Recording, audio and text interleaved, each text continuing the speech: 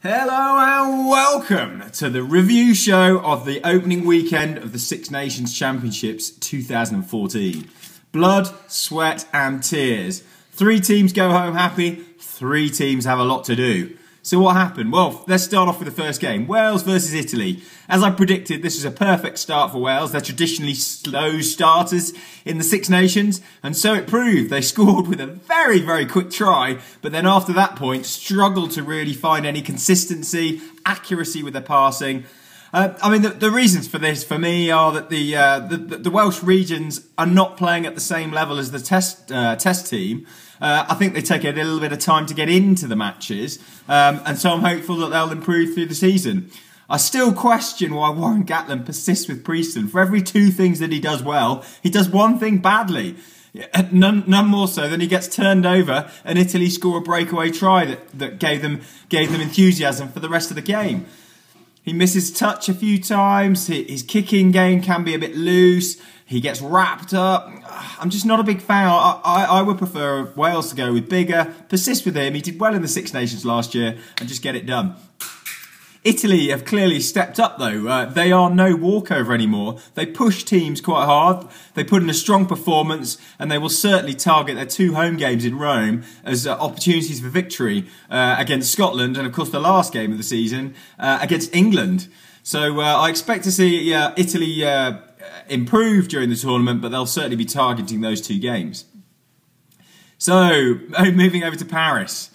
France had won two games out of 13 in 2013, so were woefully uh, short of form, didn't know how to play, but yet they came up with a 16-13 lead. Now I'd expect a team from that point to go through, you know, you've got you've got license to thrill, throw the ball around, but no, actually they, they closed down, didn't know what to do with the lead, and suddenly, before they knew it, they're five points down with four to go. I think they did incredibly well to then conjure a win from nowhere. But this is the French side we're talking about.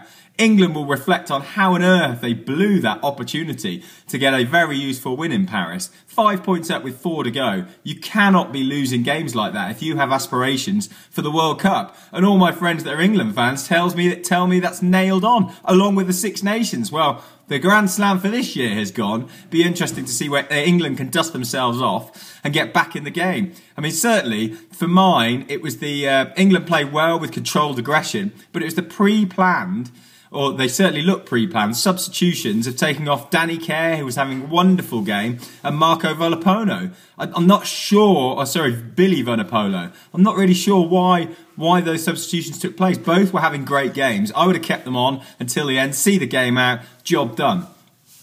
Certainly, the trip next up to uh, Murrayfield is going to be a difficult one for England, as it always is. Uh, and, and both teams knowing that whoever loses that is, is pretty much struggling for the rest of the season. So two losses from the first two games would be unthinkable uh, going into the tournament, but this is the reality that England now face. France, um, they uh, you know they always know that they win championships after Lions tours, uh, and they've started well. So we'll see how they progress. There are still a few questions over their play, but a win is still a win. So moving on to the final game. Well, Scotland started incredibly well. They had possession, they moved the ball from left to right, they tried to probe, they probed gaps, but yet they still couldn't conjure up any points. This has been a theme for Scotland for a long time. They have possession, but don't seem to have that cutting edge that's required at test level. They're not incisive enough with the ball, and this is why they are going to finish bottom, as I predicted uh, on the Dressing Gown Diary preview show of the Six Nations for this year.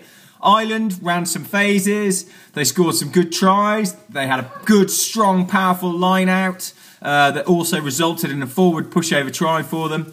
They looked they looked strong, and they're going to be a formidable test uh, for Wales and England in the coming weeks. But I still we'll, we'll talk more about the the, uh, the games in uh, in the preview show coming up later in this week.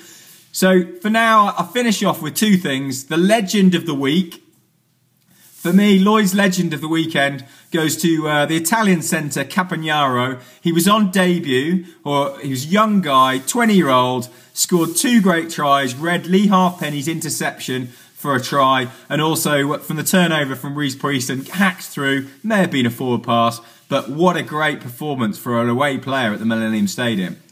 And the final thing, Lloyd's loser of the weekend. Well, Stuart Lancaster, take a bow. I am sure if you hadn't made those two prearranged substitutions that England would be looking at a victory in Paris, but as it is, it goes down as a loss. For now, this is the dressing gown diary. Enjoy yourselves. Thank you.